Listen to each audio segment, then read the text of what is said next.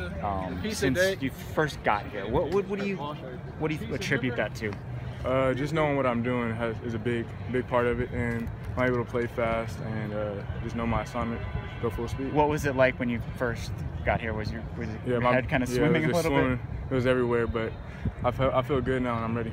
Who's helped you the most? Would you say, as far as learning your assignments or figuring out what to Uh, do as really far as players, coaches? Really, everybody, in the, all our receiver, our whole squad's been on me and Daquan trying to get us ready and up, uh, up to par and ready to play.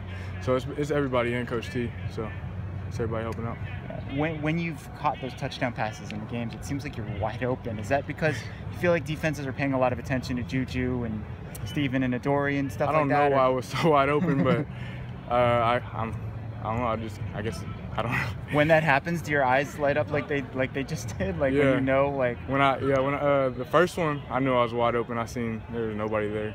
The second was the same way, and I just got to keep doing my assignment.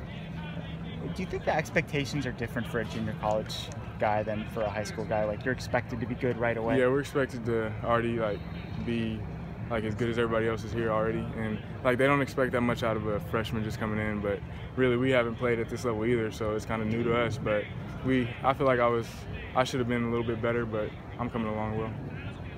Um, what have you seen out of Iman Marshall going up against him? Uh, Biggie, he's real physical.